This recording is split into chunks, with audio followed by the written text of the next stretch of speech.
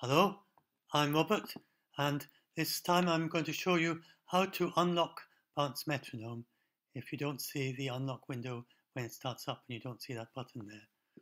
Then go up here to the question marks and drop and the drop menu should appear. Then go over there and you get this test drive, buy now or unlock. Or it could say test drive started, depends on your situation. Anyway, that's the one. And then you will get the unlock window there. Now you need to go down here and enter your name in there where it says freeware user, freeware user, and your unlock key here. And you must enter the name exactly as it's given. Easiest to do is with copy and paste. So right click and paste.